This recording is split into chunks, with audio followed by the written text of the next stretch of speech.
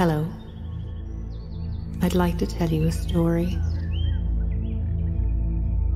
I'd like to tell you the story of him.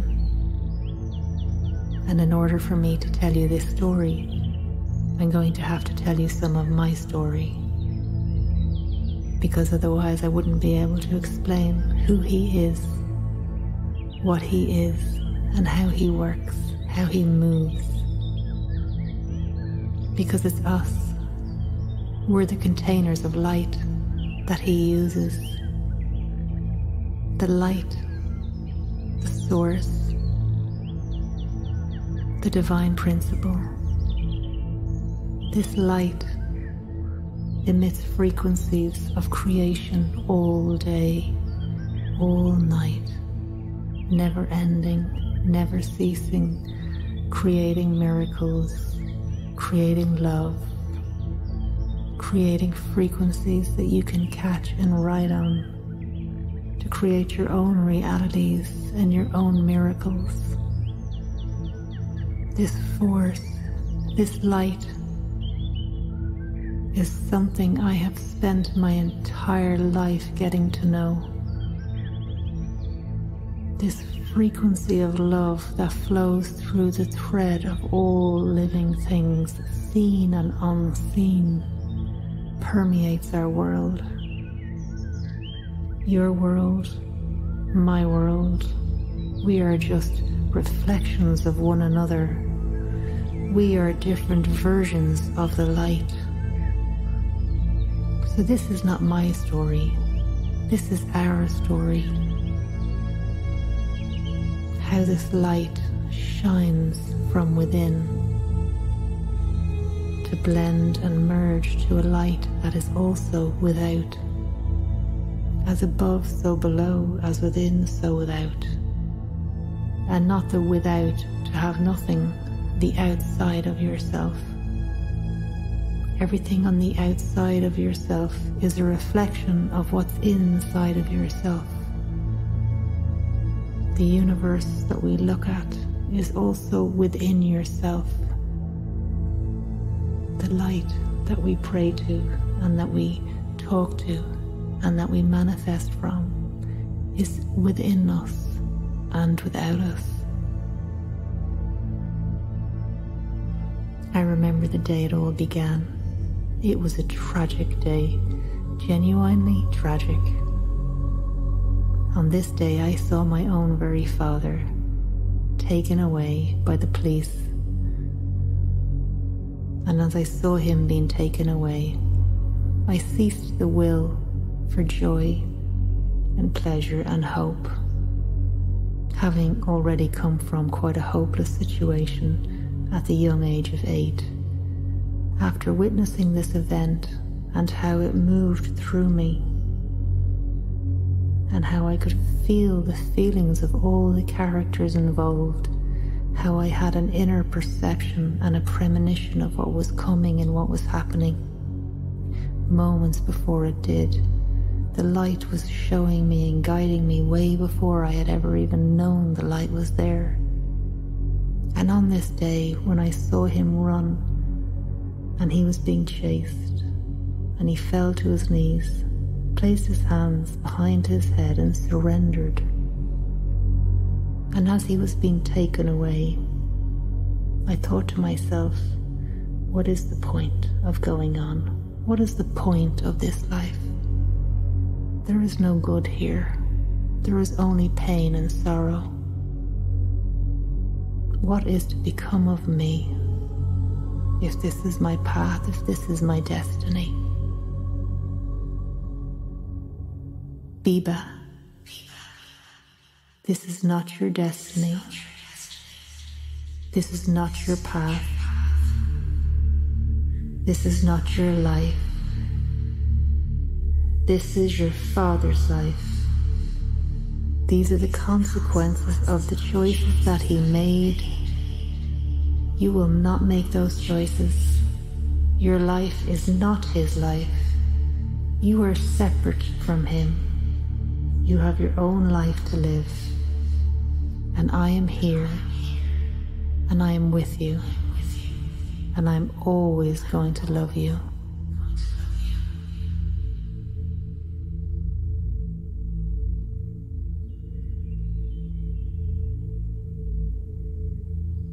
That was the first time I'd heard a voice.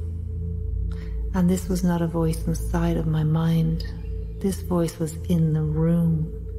It was in the road. It was in the sky. It was reaching far back. And yet it was right in front of me. This voice was talking to me and it knew me. And the strangest thing was, I knew this voice, even though I don't ever recall hearing it before. I knew it. This was the voice of my own soul calling me home. This was the voice of God talking through me and to me and showing me another way of being.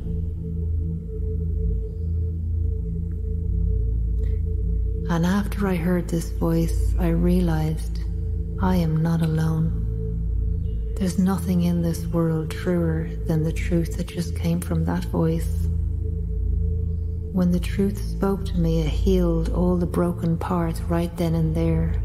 It healed all the loss and all the sadness and all the secrets that this eight year old was carrying. It healed them in that very moment. The frequency and tone of that voice transformed this being called Biba into something quite different than she was moments before. It's like she was lit up from the inside out. And from that moment forward, she went on a quest to discover this light and this voice. Where did it come from? Who is it? How do I get to know it? How do I fall in love with that? And because she heard the original truth and the real truth, she no longer believed the lies she was being told. The lies from society, the lies from the programs and the systems that we all encounter, the illusions of separation, that God is in a building, wears a dress, and he'd like to punish you if you've been bad. For one, she knew that God was not in the church. She knew she was never going to find him there.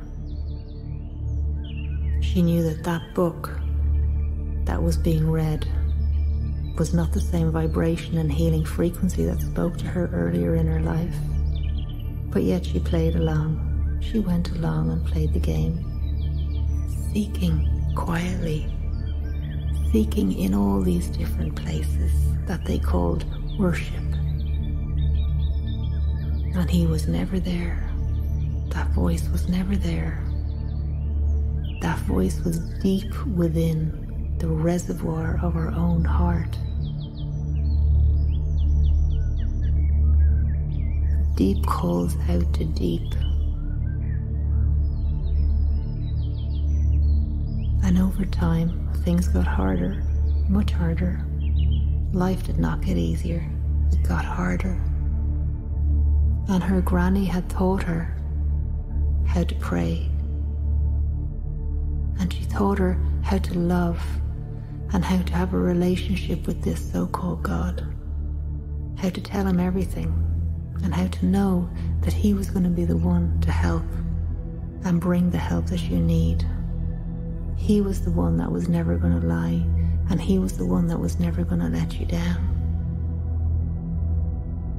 And so the eight year old turned 22, and when she was 22, she went into rehab and she got sober. And she went into the worst depression she'd ever known. For five long years, she went to these meetings daily, sometimes twice a day, sometimes three times a day, to find peace, but there was none. But she knew on the inside of her there was another way. She just had to find the right door to pass through. Eventually, years later, she met a man and she fell in love.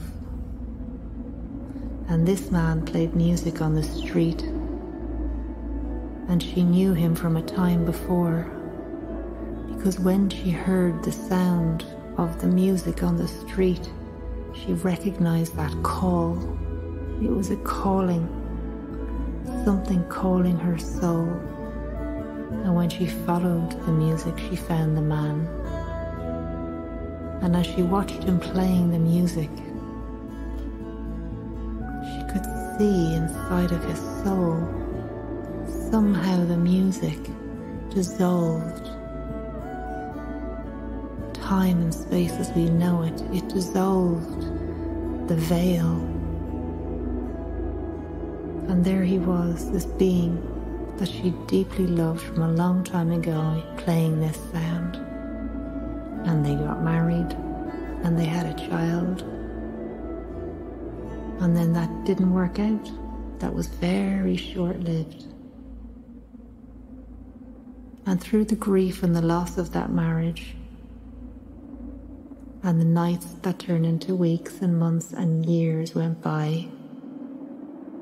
She began to see a pattern in her life the pattern of, I am always on my own. Ever since I was a child, I've never had a secure, safe home, nor have I had any security from a person.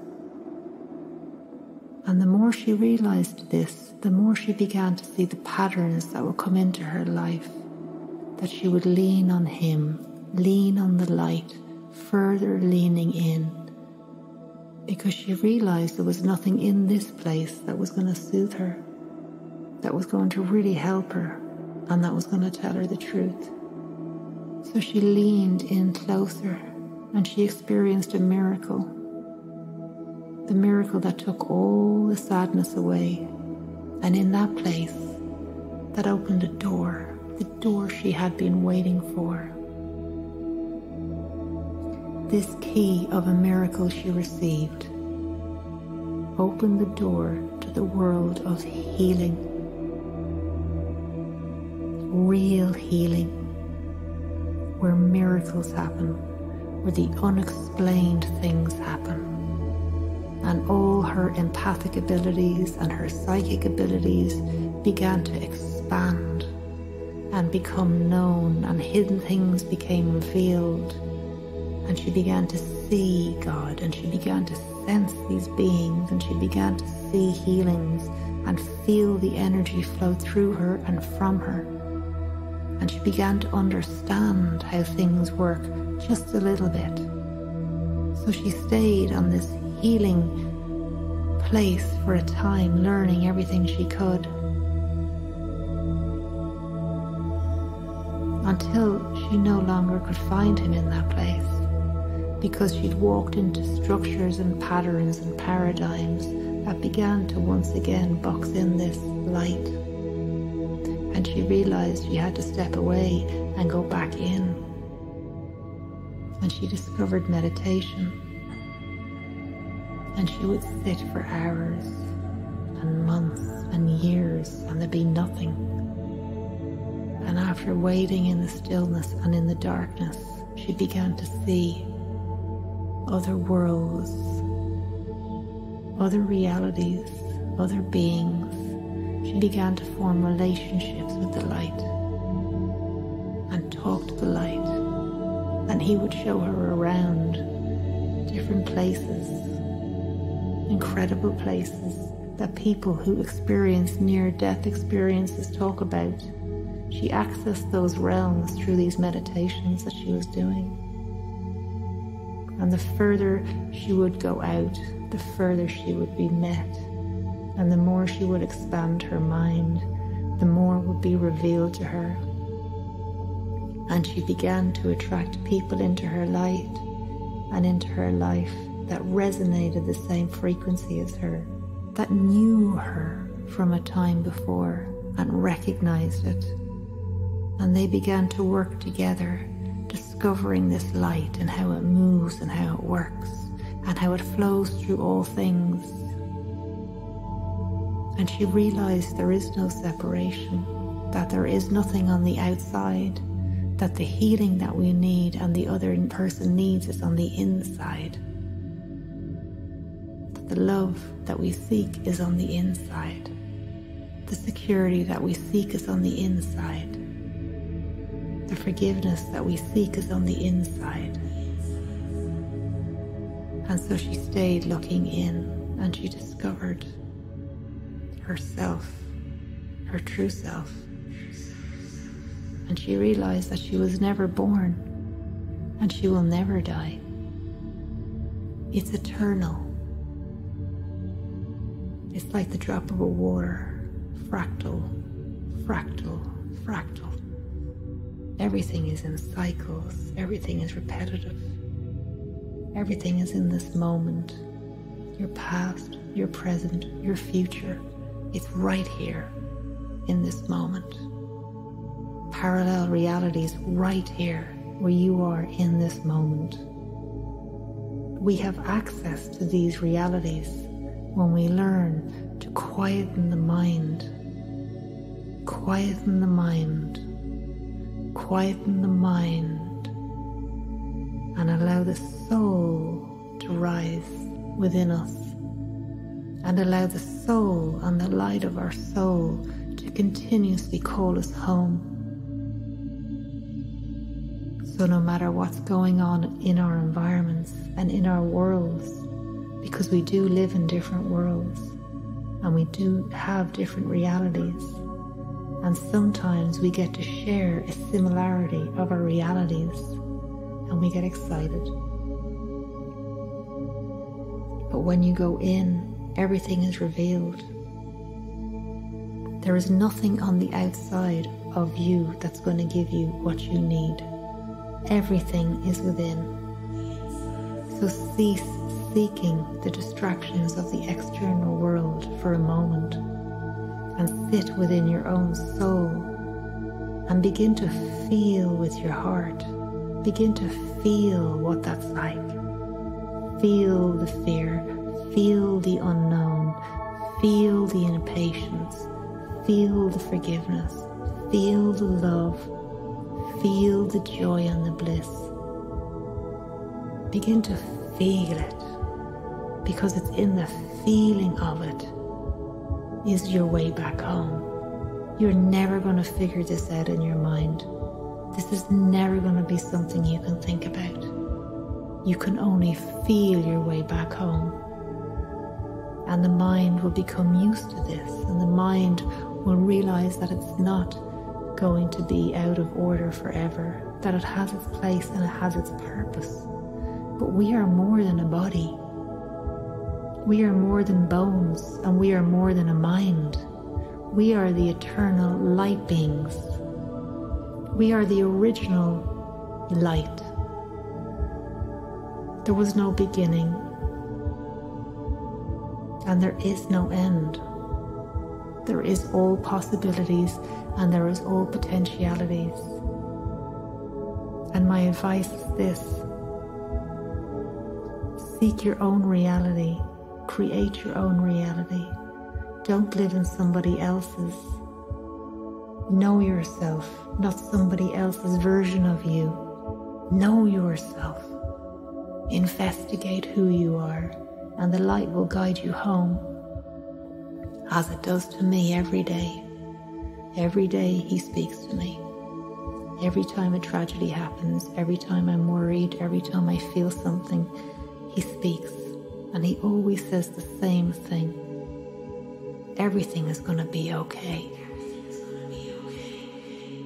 Biba, everything is okay. Trust me. And then sometimes he says, What would you like? What would you really like? And in that moment of divine love, the only answer I have is to say more of you.